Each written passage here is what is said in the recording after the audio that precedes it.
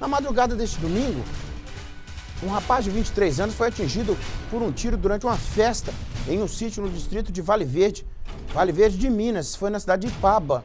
A vítima contou para a polícia que estava em uma festa quando teve início uma briga e que durante a confusão foi atingido na perna. A Gisele que vai contar. É, talvez ele tenha dito a ele que estava envolvido nessa briga, ou Gisele, ou estava do lado ali e foi alvejado.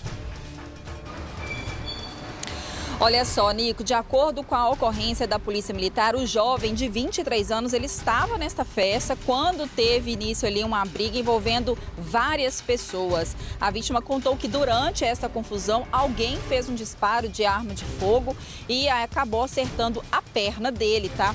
O jovem foi socorrido por populares a um hospital aqui de Ipatinga. Em conversa com os policiais, ele disse que não viu quem atirou e que também não conhece os envolvidos nessa briga generalizada. Os militares ainda procuram pelo responsável, pelo autor deste disparo, da, pelo, pelo autor do disparo e também por quem estava organizando essa festa, Nico.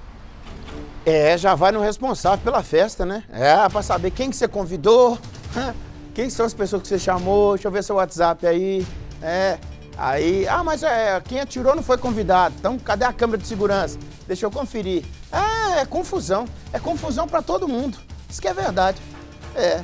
Obrigado, Gisele Ferreira.